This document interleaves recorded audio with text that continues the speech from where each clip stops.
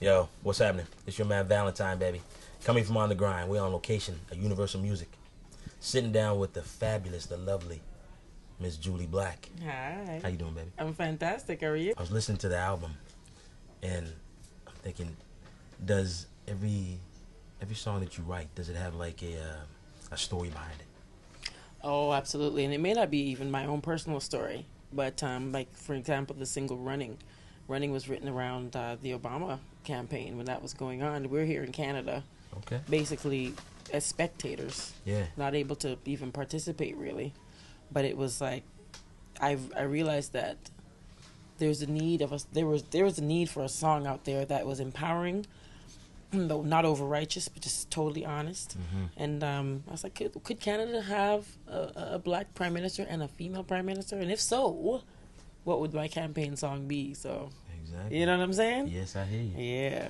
Now the album's called The Black Book. Right? hmm Now, before I even looked at it or read it or even listened to it, I wrote down this question. I said, "The Black Book represents which chapter in your life that you want to open or close?" Mm, good question. Good question.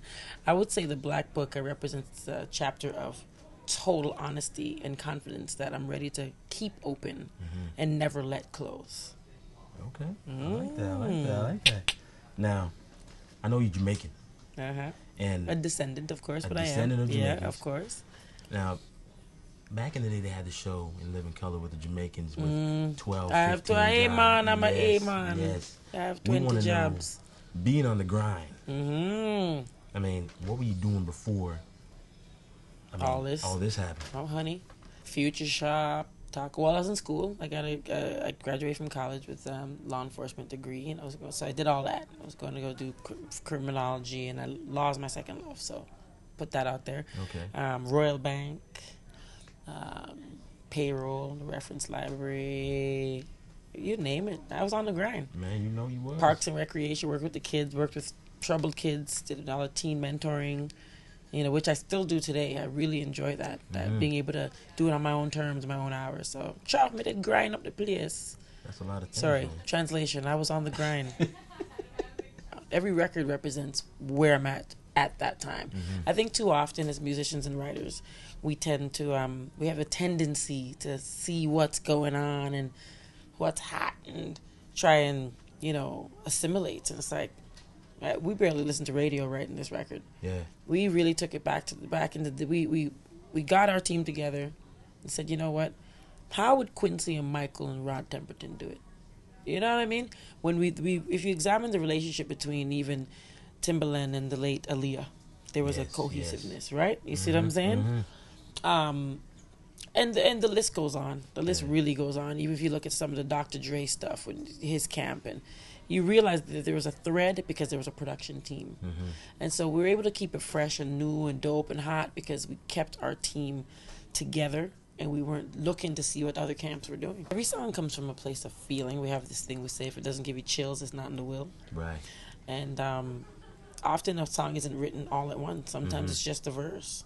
Sometimes it's so it, it gets you so emotional Yeah. that it's like you know let me let this sit for a second Okay. and go to the chorus. So you know, there's it, there's no one way really, but we know we it's all about the feeling. yeah. hmm Now, your mom has been like the mom and dad for you for you in your entire life. Yeah, up until last week. Up until when you actually decide to actually go and locate your dad or something like that. yeah, yeah, yeah. I mean, what made you decide to do that?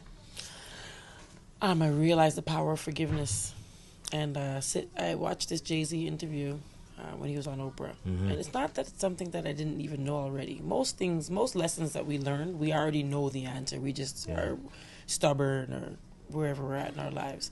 And he said to Oprah, I'm paraphrasing, but basically, he couldn't forge any real quality relationships.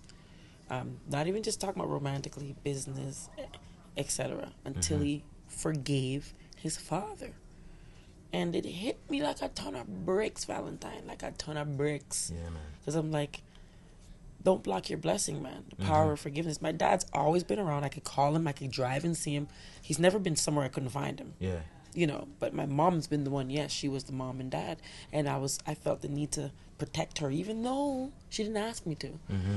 So fast forward to two weeks ago, And uh, actually, I'm lying. Halloween, I sat did the Jay Z interview for E Talk, and we just had a moment. And I, I thanked him. I said, you know what, we know you make a lot of money, you sell a lot of records, you sell a lot of clothing, but for me, it was the message of forgiveness. That's my jigger moment. And he said, oh my gosh, you're giving me chills. What makes me strong is um my faith, for sure Okay. my uh, my family, my community, Mhm. but ultimately just the belief that um, there's there's only one Jully, brethren. Yes. I feel you. Only one Valentine. There's only one.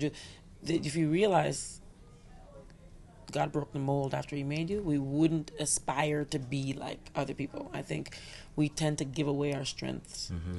because we're searching. You know. Yeah. And so what I realized my there's a strength in me being confident who I am, in my curves, in the space of my teeth, in the flare of my nose, in the you know, my bone structure, in being my uniqueness. That's my strength. That's me. Yeah. Yeah. One of the biggest challenges uh, coming up in the Canadian music industry has been um, breaking the barrier of sound, meaning not having my music be defined just Mhm. by my race. Knowing that good music is good music and having to be on that campaign of, okay, Jully, you don't need to compromise. Keep doing you, keep growing, keep evolving, and the people will come. Right. So, convincing myself, if you build it, they will come. Keep Mhm. building it, they will come. Right. You got a new single or release coming out. Mm, It's out. is it coming out? November 23rd. So it's already out. It's already out. Came Where out this we week. You can get it everywhere. You can get it on iTunes, Best Buy, Walmart, you name it, everywhere. Okay. Got MySpace? Oh, I do have MySpace, of course. Everything, let me tell you, people. I'm going to speak directly to you right now. It's easy to find Miss Jully, okay? As long as you spell it right. It's like jelly with a U. J U L L Y. The MySpace is MySpace slash Jully Black. The Twitter, Twitter slash Jully Black. The website, Jully Black. Very easy.